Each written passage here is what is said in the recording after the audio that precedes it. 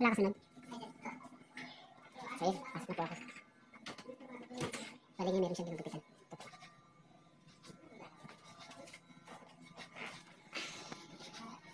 Hintay lang po tayo matapos ng isa. Tapos mukhang wala naman nakapila. So ako na po yung susunod. Papikit tayo. Dami ko ng puti, oh. Pero alam niyo, mga kuya, nagsimula ako mag-abroad. Halos wala pa akong puti. Parang natatandaan ko pa nga noon, 10 years ago. Pagka yun nauwi ako, binubunutan pa ako ni Mrs. Pero ngayon, hindi na ako pwedeng bunutan. Kasi kapag ka binunot, parang makakalbo na ako eh. Oh, kita niyo, oh, dami. Sabi nila, ang cause daw ng pagputi ng buhok, maliban sa stress, sabi nila dito daw sa Middle East, may epekto daw yung tubig nila. Kaya hindi ko lang alam kung totoo. Kasi dito daw sa sa Middle East, kapag yung lalaki daw nag-abroad, bali kung hindi ka makakalbo, isa mapapano, kaya naman nagiging bading daw. Sabi nila, hindi ko lang alam kung totoo yun. Pero so far ako naman, di naman ako bading. Pati so far, hindi pa naman ako nakakalbo, malago pa naman yung buhok ko. So ayun, napapakailangan lang natin magpagupit ngayon. Sige po, hintay lang po tayo ha. Para magupitan na. A few moments later. So ayan po mga kuya, bali ako na yung next, tapos na yung isa.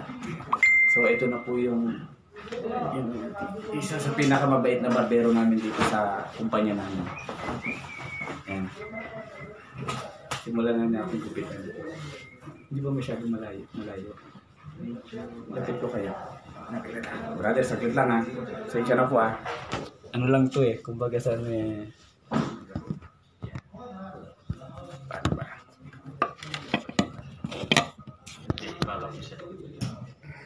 Bahala ko tuloy kayo. ha?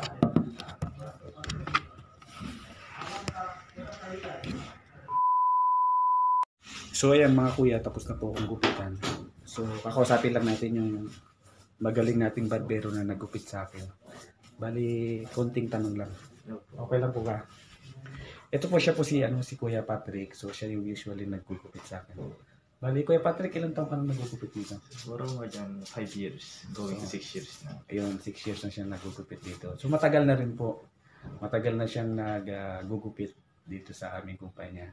So masaya ka naman sa ginagawa mo. masaya naman. Basta yung trabaho, enjoy lang. Bilang nasa, pag nasa abroad ka kasi, kailangan mo lang enjoy yung sarili mo. Yun. Kasi, So ganun po talaga.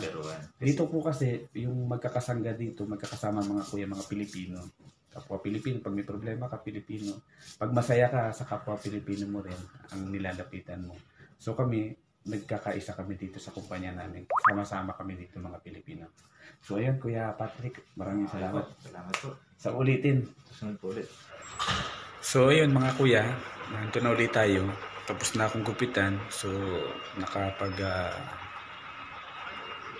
linis na rin tayo, nakapag half bath. Kasi mahirap kasi kapag ah, yung bagong gupit, usually may mga natitirang buhok-buhok sa ulo. So naligo po ako. So ayun po mga kuya, sana po ah nakapagbibigay po ako sa inyo ng konting impormasyon dun sa mga gustong magtrabaho dito sa ibang bansa.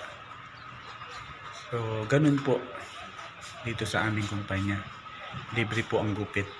So, at least may idea na po kayo sa mga gustong mag, mga ibang bansa. So, ganun lang. Sige po, magandang araw. Doon po sa mga hindi pa nakasubscribe sa YouTube channel ko, sana subscribe na po kayo. Sana suportahan nyo po mga kuya. Paki-like na rin po kayo at uh, paki-share na rin po. Salamat po.